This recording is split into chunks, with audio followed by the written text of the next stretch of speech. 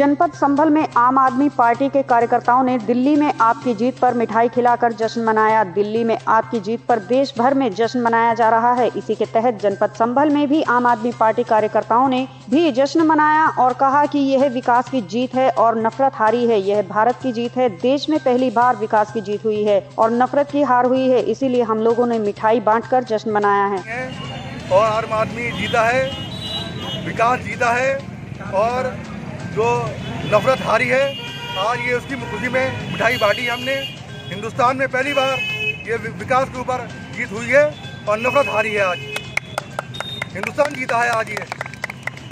भारत की जीत है पूरे।